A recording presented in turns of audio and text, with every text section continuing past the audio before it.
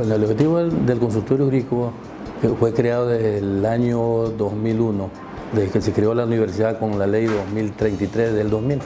Prestamos este servicio gratuito a la colectividad a través de los estudiantes de la carrera de Derecho que están este, para obtener su título de, de abogado de los abogados de la República del Ecuador.